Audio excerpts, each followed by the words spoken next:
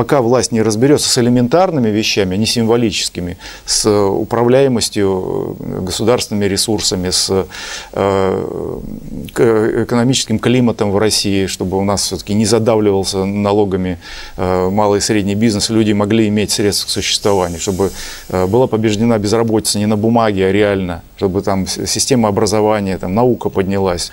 В них слишком много наигранного, слишком много обмана. А, и поэтому еще одна новость там, о Сталинграде там, или там, о выносе Ленина из мавзолея, я не знаю, там, что еще можно придумать, о переходе на зимнее время, э, стоит ли, не, не стоит. Вот эти все вопросы, они просто воспринимаются как информационный шум.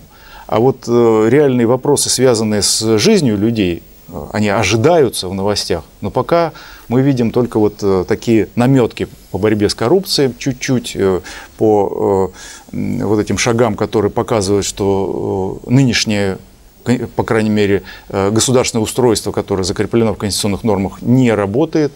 И мы видим, что вот какие-то серьезные изменения должны произойти в ближайшее время, может быть, даже в ближайший год.